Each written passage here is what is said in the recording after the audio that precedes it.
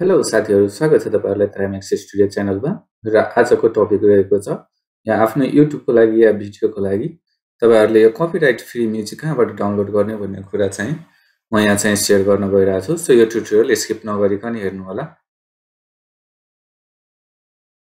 So फर्स्टमा हामीले आफ्नो गुगल क्रोम या आफ्नो यो जुन ब्राउजर छ खोलेर अनि त्यसपछि तपाईँहरूले यसरी युट्युबभित्र जानु होला र युट्युब चाहिँ लगइन गरिसकेपछि तपाईँहरूले त्यो युट्युबभित्रै तपाईँहरूले कपिराइट फ्री चाहिँ म्युजिक पाउन सक्नुहुन्छ। यो चाहिँ हामीले युट्युबबाटै किन लिनुपर्छ भनेदेखि तपाईँहरूले अब डिफ्रेन्ट साइटबाट लिएको म्युजिकहरू एकचोटि सर्भरमा अपलोड भइसकेपछि यो सधैँभरिको लागि हुन्छ। सो जति बेला पनि तपाईँहरूलाई कपिराइट स्ट्र्याक र क्लेम दिन सक्छ।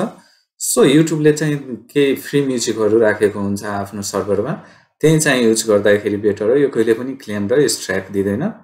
सो त्यसपछि हामीले युट्युब लगइन गरिसकेपछि यो यसरी आफ्नो उसमा गएर र यसमा युट्युब स्टुडियो युट्युब स्टुडियोमा क्लिक गर्नु होला र युट्युब स्टुडियो क्लिक गरिसकेपछि तपाईँले यहाँ देख्न सक्नुहुन्छ यहाँ अडियो लाइब्रेरी भन्ने छ। यो अडियो लाइब्रेरीमा क्लिक गर्नु होला र यहाँ चाहिँ तपाईँहरूले यो कहिले नसकिने म्युजिकहरू छन् जुन तपाईँको छ सय चौबिस पेजको रहेछ तिसले यो भनेको अठार उन्नाइस सय जति म्युजिक छ लगभग। तपाईँलाई चाहिने अनुसारको यहाँ चाहिँ सर्च गरेर लिन सक्नुहुन्छ।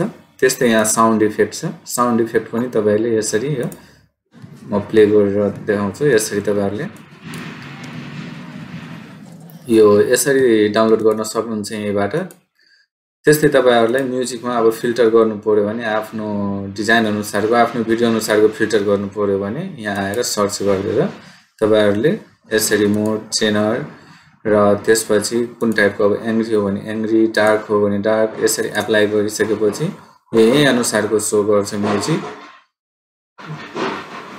र यसरी यहाँबाट तपाईँहरूले यसरी डाउनलोड गर्न सक्नुहुन्छ र तपाईँले यसरी डाउनलोड गरेर तपाईँ आफ्नो भिडियोमा युज गर्न सक्नुहुन्छ र यो चाहिँ कहिले पनि स्ट्र्याक दिँदैन।